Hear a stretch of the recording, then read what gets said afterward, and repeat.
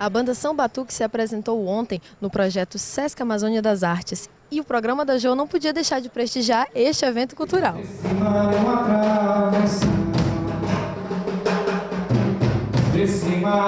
O projeto musical São Batuques, dos compositores Beto Oscar e Helder Brandão, busca essencialmente exaltar a riqueza poética e melódica das manifestações folclóricas afrodescendentes do estado do Amapá, através de músicas compostas por estes autores, influenciados pelos ritmos e ritos tradicionais das comunidades quilombolas.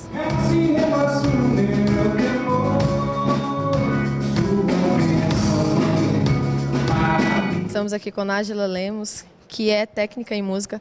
Nájila, fala um pouquinho sobre esse projeto. O projeto Sesc Amazônia das Artes é um projeto que circula na Amazônia Legal, dos estados da Amazônia Legal, que são 11 estados, contando com Tocantins. Então, os grupos é, selecionados, eles vão passar por todos esses estados, trazendo música, dança, teatro, artes plásticas em cada cidade que passam. E esse projeto, ele procura difundir é, a cultura entre todas as idades? Sim, tem espetáculos para todas as idades. A maioria dos espetáculos é faixa etária livre, mas temos espetáculos também para criança e tem um, espetáculo, um único espetáculo que é faixa etária adulta. Nájila, fala agora para a gente sobre a programação desse projeto. Então, o, a gente teve início, essa programação vai de 8 a 18 de setembro. A gente teve início sábado com a banda de música também Luiz Soares e só encerra segunda-feira, dia 18.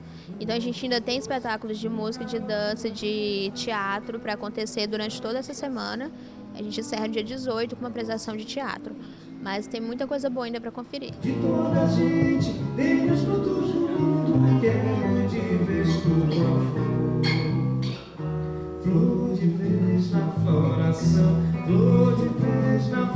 floração, flor de vez na floração, flor de vez na floração. Estamos aqui com Beto Oscar, que é o vocalista da banda São Batuques. Beto, fala pra gente um pouquinho sobre o grupo de vocês, sobre o grupo São Batuques. Qual o estilo de música que vocês tocam? Olá, Raíssa. É, o São Batuques é um trabalho é, feito em parceria com o Helder Brandão. Né?